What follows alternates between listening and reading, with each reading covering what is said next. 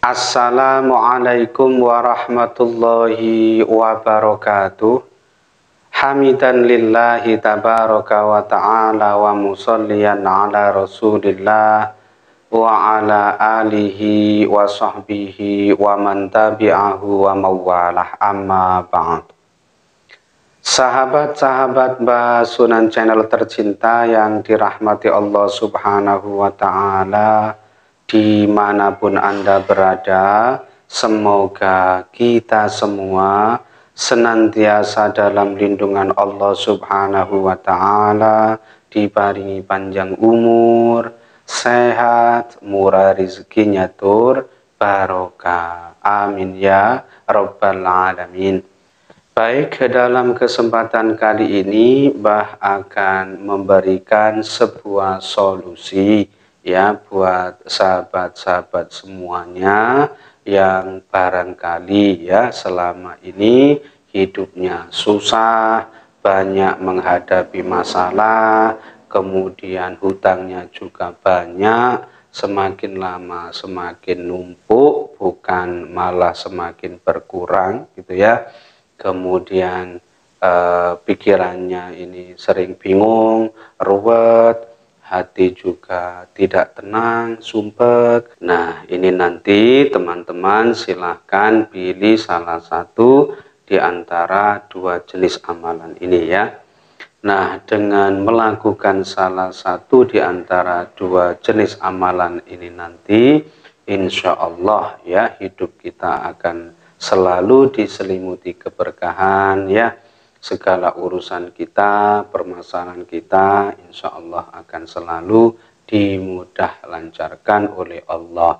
Baik itu masalah kesehatan, masalah utang piutang, masalah perekonomian, masalah usaha atau perdagangan dan lain sebagainya yakinlah kepada Allah insya Allah semuanya akan semakin dimudahkan oleh Allah. Sesuatu yang tidak mungkin sesuatu yang mustahil insya Allah semuanya akan bisa menjadi kenyataan. Yakun fayakun biiznillah atas izin Allah atas pertolongan Allah subhanahu wa ta'ala nah sesuai dengan judul video ini pingin sugih picarani ya ingin bisa menjadi orang yang kaya ya ini bagaimana caranya?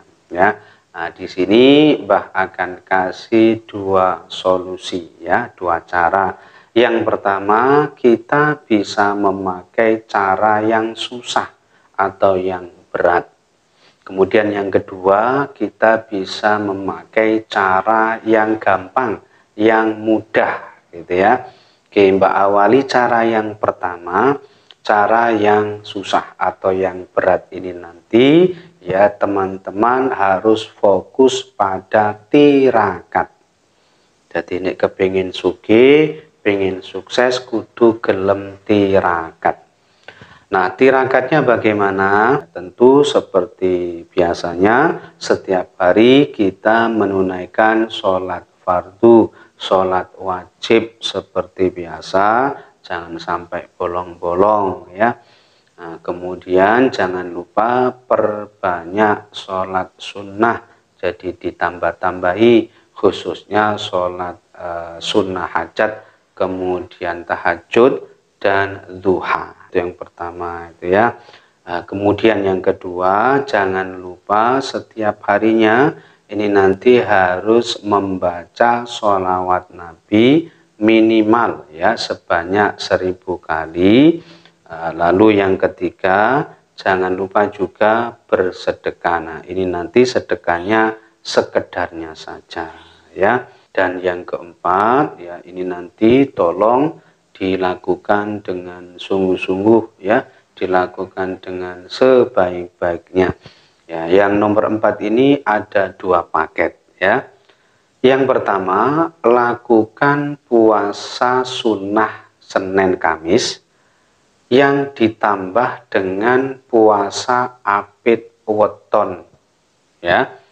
Nah, puasa apit weton ini berarti nanti jatuhnya setiap 35 hari sekali. Dan sekali mengamalkan ini nanti selama tiga hari. Karena puasa abid weton itu uh, wetonnya harus ditaruh di tengah-tengah ya. Dan uh, puasa weton ini nanti ya sebaiknya dilakukan dengan cara mutih.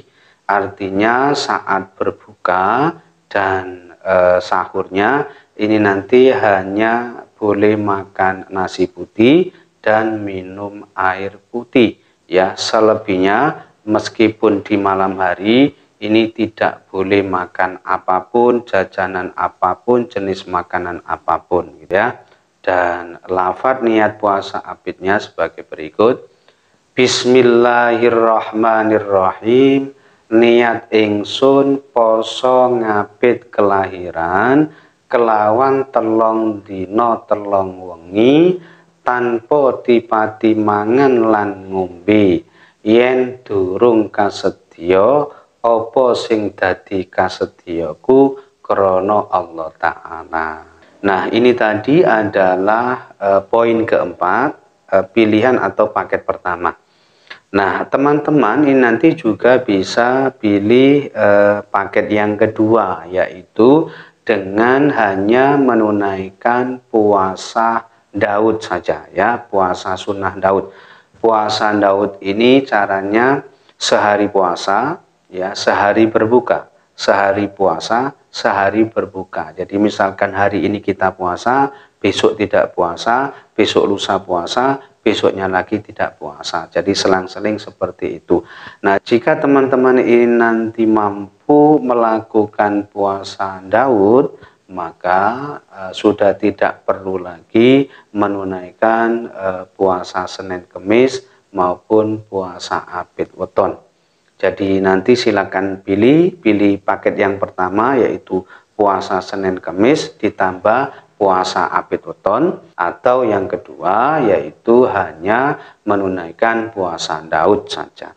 Uh, tetapi seandainya di antara teman-teman ini ada yang mampu ya mengamalkan dua paket ini ya uh, puasa Senin Kemis, kemudian puasa Abid Weton, lalu puasa Daud, uh, tentu ini dampaknya akan semakin luar biasa, semakin menambah keberkahan dalam hidup kita insya Allah ya. Nah ini tadi adalah cara yang susah atau yang berat, yang lebih fokus pada tirakat.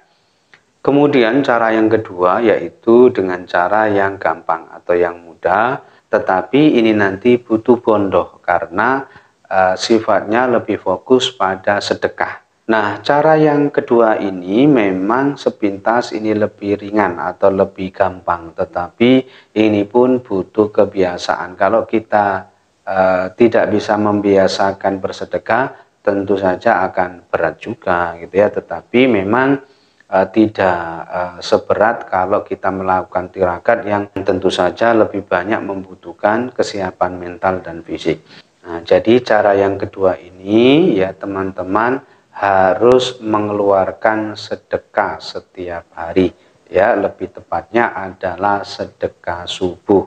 Jadi teman-teman setiap waktu subuh sebelum matahari terbit jangan sampai kedahuluan matahari terbit ini nanti harus mengeluarkan sedekah itu ya dan ini harus dipaksa bisa berupa uang bisa berupa makanan ya dan sedekah subuh ini yang baik ya harus dilakukan setiap hari setiap waktu e, subuh atau sebelum matahari terbit lah gitu ya. Nah tetapi teman-teman juga bisa melakukan e, sedekah subuh tetapi ditabung atau dikumpulkan di rumah gitu ya Misalkan setiap hari ya sebelum matahari terbit ya saat subuh itu kita niatkan mengeluarkan sedekah subuh misalkan 5000 atau 10000 nanti kita kumpulkan terus kita kumpulkan uh, setelah seminggu atau nanti hari Jumat misalkan kita uh, kasihkan ke fakir miskin atau anak yatim dan seterusnya seperti itu. Ini nanti ya harus dilakukan secara rutin, secara istiqomah, jangan sampai berhenti di tengah jalan ya meskipun uh, saat kita benar-benar lagi tidak punya uang ya kalaupun uh, di saat-saat tertentu, saat-saat yang agak sulit banyak kebutuhan, maka kita harus tetap ya mengeluarkan sedekah subuh tersebut meskipun e, dengan jumlah atau nominal yang agak rendah. Pokoknya yang penting e, dilakukan secara terus-menerus, secara rutin tanpa putus dan ini harus dipaksa. Sedekah-sedekah dan sedekah dan tunggulah insya Allah tidak lama kehidupan kita akan semakin membaik, semakin berkah ya selalu mendapatkan kemudahan dan pertolongan dari Allah Subhanahu wa taala ya. Baik itu saja yang bisa Mbak sampaikan ya dalam kesempatan kali ini. Mudah-mudahan apa yang Mbak sampaikan kali ini ya kita semua bisa melaksanakannya dengan baik ya selalu mendapatkan kemudahan pertolongan dari Allah Subhanahu wa taala. Kurang lebihnya mbak mohon maaf. Akhirul kalam. Wallahul muwafiq ila aqwamit thoriq. Hadanallahu iyyakum ajma'in. Assalamualaikum warahmatullahi wabarakatuh.